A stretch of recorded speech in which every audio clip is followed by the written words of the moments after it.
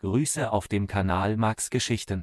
Abonnieren Sie den Kanal, um ihn zu unterstützen und jeden Tag interessante Geschichten zu hören.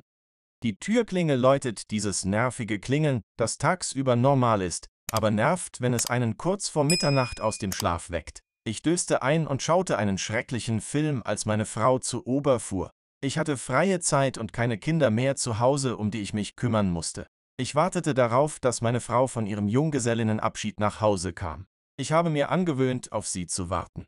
Ich wollte, dass sie sich unwohl fühlte, wenn sie nach einem Junggesellinnenabschied nach Hause schlich, weil in unserem Haus nichts mehr so war, wie es nach 25 Jahren eher sein sollte. Von morgen an waren es nur noch drei Wochen bis zu unserem 25-jährigen Hochzeitstag. Wir hätten uns auf einen großen Familienurlaub freuen sollen, aber dazu sollte es nicht kommen. Meine Frau entpuppte sich als Betrügerin. Ich hatte nicht die Absicht, an diesem Jahrestag in ihrem Leben zu sein, nur dass sie noch nicht wusste, was ich wusste. Wir heirateten jung, bekamen schnell Kinder und waren nun leere Familienväter ohne Kinder zu Hause, um die wir uns kümmern mussten. Wenn wir uns trennten, hatte ich nicht die Absicht, mich von ihr scheiden zu lassen. Ich hatte vor, sie zu töten. Vor neun Monaten fand ich heraus, dass sie nicht nur mit ihrem langjährigen Chef fremdging, sondern dass sie mich wahrscheinlich schon seit mehreren Jahren betrogen hatte. Ihr Chef ist zufällig mein Bruder Jake, mein großer, gut aussehender Bruder, der der Lieblingssohn der Familie war, ein Typ, der zwei Jahre älter war als ich, das Leben und die Seele jeder Party und in dessen Schatten ich mein ganzes Leben stand. Ich entdeckte ihren Verrat vor vielen Monaten, als sie versehentlich ihr Telefon offen ließ, während sie sich für ihren Junggesellinnenabschied fertig machte. Ich nahm ihr Handy in die Hand, um es ihr zu geben, und drückte, wirklich aus Versehen, auf den Knopf, woraufhin das Display aufleuchtete und eine WhatsApp-Benachrichtigung mit den ersten Worten deutlich sichtbar erschien. Warum hatte sie eine Nachricht von meinem Bruder zu Hause? Sie waren die meiste Zeit des Tages zusammen auf der Arbeit. Noch beunruhigender war, dass die Nachricht nicht deutlicher sein konnte. Bist du bereit für Hardcore 6? Das war alles, was in der Benachrichtigung stand. Ich öffnete also die gesamte WhatsApp-Konversation mit Jake und konnte diese Nachricht und noch mehr sehen. Wir sehen uns am üblichen Ort. Ich habe Zimmer 245 gebucht. Komm einfach zum Zimmer. Wir sehen uns um 19.30 Uhr. Es ist schade, dass wir nicht über Nacht bleiben können, aber ich schätze, du musst zurück nach Onan. Die Nachrichten waren voll und es gab alle Beweise dafür, dass diese beiden Abschaumtypen mich seit vielen Monaten betrogen hatten. Was mich wirklich wütend machte, abgesehen von dem offensichtlichen Betrug, war die Art und Weise, wie sie darüber sprachen, dass er mir das bieten würde, was ich nicht konnte. Meine Frau schloss sich meinem Bruder an und verspottete und erniedrigte mich als Mann, als Liebhaber, als Ehemann.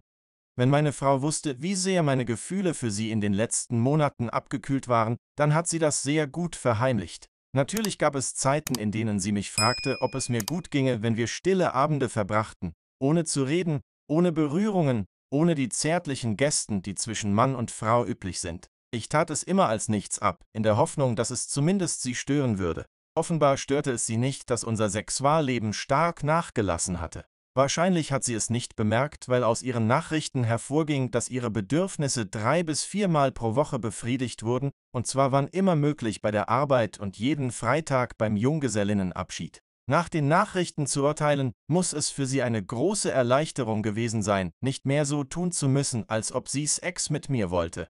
Wenn sie mich nicht mehr liebte, hätte sie unsere Ehe beenden und Sex haben können, mit wem sie wollte, aber stattdessen spielte sie Spielchen mit mir wie ein totaler Ich hätte die Scheidung vorgezogen, auch wenn es wehgetan hätte, da ich sie völlig liebte, bevor ich diese verhängnisvolle Nachricht sah. Die einzige Ausnahme in unserem Sexleben war, als mein Bruder und seine Familie für zwei Wochen nach Florida fuhren. Es schien, als ob sie, je näher das erste Wochenende ohne ihn rückte, immer mehr verliebt wurde. Sie drückte sich spätnachts und früh am Morgen mit ihrem ganzen Körper an mich. Zweimal in diesen zwei Wochen hatte ich wütend Sex mit ihr, aber die meiste Zeit war sie eindeutig verwirrt über mein mangelndes Interesse. Ich wollte ihr noch mehr widerstehen, aber ich brauchte nicht nur selbst ein wenig Erleichterung, sondern wollte sie auch nicht völlig ignorieren, damit sie merkte, dass ich wusste, dass sie fremd ging. Warum habe ich sie also nicht einfach zur Rede gestellt? Nur die Ruhe. Ich habe meinen Plan entwickelt, um sie zu töten. Ja, du dachtest, ich wäre ein Fußabtreter für diese beiden betrügerischen Bastarde. Auf keinen Fall. Ich hatte gehofft, einer lebenslänglichen Haftstrafe zu entgehen, aber wenn die Karten so ausgingen, würde ich lieber damit leben, als mit dem Schmerz, von meiner Frau und meinem Bruder betrogen worden zu sein. Über viele Monate hinweg hatte ich Zeit, buchstäblich Dutzende von Plänen durchzudenken, um ihnen ein Ende zu bereiten. Natürlich war es eine große Sache, den Tod der beiden zu wünschen. Sie waren normalerweise nur zusammen, wenn sie Sex hatten oder bei der Arbeit oder bei einer Familienfeier. Wie konnte ich sie töten, ohne dass es zu offensichtlich war, dass ich es getan hatte? Ich dachte daran, bei einem Familienausflug für einen Anteil zu bezahlen, aber das würde bedeuten, dass ich unschuldige Leben, nicht zuletzt mein eigenes, in Gefahr bringen würde. Bei einem Familientreffen habe ich mich gefragt, ob es eine Möglichkeit gibt, eine Kohlenmonoxidvergiftung als stillen Killer einzusetzen. Ja, es hat Fälle in Hotels gegeben, aber das Haus, in dem sie sich verabredet hatten, war hochmodern und nutzte Solarenergie für den größten Teil seines Heiz- und Strombedarfs, so dass dies nicht realistisch ist. Ich dachte über so viele Szenarien nach und sah in jedem ein Problem, und ich hatte das Gefühl, dass es immer schwieriger wurde, in ihrer Nähe normal zu sein, vor allem wenn wir alle als große Familie zusammen waren. Sie taten einfach das Richtige, indem sie versuchten, nicht zu offensichtlich zu sein und suggerierten, dass ihr Publikum nichts von ihrer Romanze wusste, aber für mich, die ich wusste, dass sie Betrüger der schlimmsten Sorte waren, waren es flüchtige Blicke und Gesten, beiläufige Berührungen, wenn sie dachten, dass niemand hinsah, und das süße Täubchen ließ meine Wut wachsen. Monatelang wurde mir übel, wenn ich erkannte, wie viel Spaß es ihnen machte, sich gegenseitig zu zeigen, wie sehr sie es genossen, mich zu quälen, nicht nur durch den Sex, sondern durch all die Intimität, die sie nicht miteinander teilen durften. Meiner Meinung nach zeigten ihre Handlungen, wie sehr sie mich nicht respektierten und mich mit ziemlicher Sicherheit hassten. Warum sie mich hassten, wusste ich nicht. Ich habe sie immer unterstützt, obwohl ich ein wenig eifersüchtig auf meinen Bruder war, und ich habe meiner Frau nie einen Grund gegeben, sie zu missachten. Ich behandelte sie gut im und außerhalb des Bettes, und sie hatte nie Sex mit mir, ohne mindestens einen Orgasmus zu haben, oft sogar mehr. Jetzt war ich fast an meiner Grenze angelangt. Ich fasste meinen letzten Plan, so dumm er auch war. Ich beschloss, ihren Betrug aufzudecken und sie beide zu erschießen und dann mein Glück bei der Justiz zu versuchen, in der Hoffnung, auf vorübergehende Unzurechnungsfähigkeit plädieren zu können. Doch die Erkenntnis, dass ich mit ziemlicher Sicherheit zu einer langen Gefängnisstrafe verurteilt werden würde und dass mein eigenes Leben ebenso ruiniert sein würde wie das der beiden, hielt mich davon ab. Im Idealfall hätte ich einen Plan gefunden, der es mir ermöglicht hätte, ihnen zu offenbaren, was ich wusste, und sie eine Zeit lang in der Angst vor der Scheidung und dem Auseinanderbrechen beider Familien leben zu lassen, während für mich selbst klar gewesen wäre, dass ich sie töten würde. Ich sah nur keine Möglichkeit, dies zu erreichen. Kurz vor unserem 25. Jahrestag beschloss ich, sie beide zu töten. Das war nicht verhandelbar. Ich werde meinen 25. Jahrestag nicht mit meiner Frau feiern. Der Jahrestag fiel auf einen Samstag, also war mein endgültiger Plan, ihr zu einer regulären Freitagabend-Junggesellinnenparty im Hotel zu folgen, herauszufinden, in welchem Zimmer sie waren, dann würde das Blut fließen und ich würde ihnen beiden in die Augen sehen, während ich sie tötete. Ding, ding. Verdammt, da klopft jemand an die Tür. Die dumme Frau hat wohl ihre Schlüssel vergessen. Ich komme ja schon, rief ich. Aber als ich die Tür öffnete, standen dort nicht meine Frau, sondern zwei Polizisten. Die Seniorin sagte mir, wer sie seien, die Officers Early und Bukowski, und ob sie bitte hereinkommen könnten. Ich bat sie herein, und sie sahen sehr ernst aus. Bevor Early sprach, so sind Sie Emmer Richards, der Ehemann von Irene Richards? Ich nickte zur Bestätigung. Er fuhr fort. M.R. Richards, es tut mir leid, Ihnen mitteilen zu müssen, dass Ihre Frau heute Abend in einen tödlichen Autounfall verwickelt war, Sir. Ihr Bruder Chakent hat das Auto gefahren, in dem Sie saßen, und er ist ebenfalls ums Leben gekommen. Bevor er etwas hinzufügen konnte, fing ich an, wie ein Verrückter zu kichern. Ich konnte mein Glück nicht fassen. Ich wurde nicht nur vor dem Gefängnis bewahrt, sondern wir hatten auch eine langfristige Versicherung abgeschlossen, die im Falle des Todes des verbleibenden Ehepartners die Hypothek abzahlte. Ich war nicht gezwungen, das Haus zu verkaufen. Natürlich war die Hypothek fast abbezahlt, so dass es keine so große Belastung war. Aber es gab eine weitere Police über 500.000 Dollar. Ich werde nicht nur nicht ins Gefängnis gehen, sondern auch meine finanzielle Situation erheblich verbessern.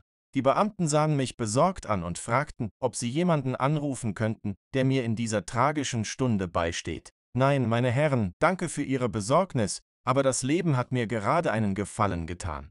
Die beiden hatten über neun Monate lang eine Affäre. Ich habe die meiste Zeit meines Lebens damit verbracht, herauszufinden, wie ich die Sache beenden kann. Jetzt ist es vorbei. Es ist natürlich Beamte der Justiz. Es geht mir gut. Ich werde sogar etwas trinken, um zu feiern.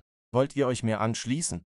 Sie lehnten natürlich ab, da sie im Dienst waren, ganz zu schweigen davon, dass sie mich für einen Bastard hielten, weil ich mich über den Tod meiner Frau und meines Bruders freute, und sie gingen mit der Bitte, morgen früh im Leichenschauhaus anzurufen, um eine ordnungsgemäße Identifizierung vorzunehmen. Ich hielt es für klug, ihnen nicht zu sagen, dass ich vorhabe, beide Verräter in weniger als drei Wochen zu töten.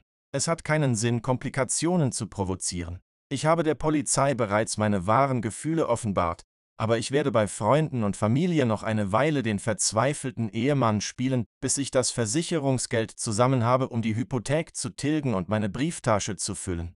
Ich schlief in dieser Nacht wie ein Baby und ging am nächsten Morgen hin, um mich zu vergewissern, dass sie in der Nacht nicht wieder zum Leben erwacht waren. Als ich im Leichenschauhaus ankam, untersuchte ich beide Leichen.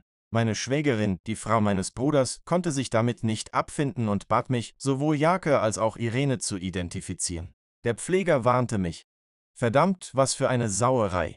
Und ja, so wie die beiden aussahen, ging es wahrscheinlich schnell. Aber ach, wie sehr hoffte ich, dass sie Zeit hatten zu verstehen, was als nächstes kam und dass es sehr schmerzhaft war. Es stellte sich heraus, dass der Fahrer des 18-Wheelers an diesem Tag zu viele Kilometer und Stunden gefahren war, am Steuer einschlief und eine rote Ampel überfuhr, wodurch ihr Auto in zwei Teile zerbrach und die Insassen keine Chance hatten.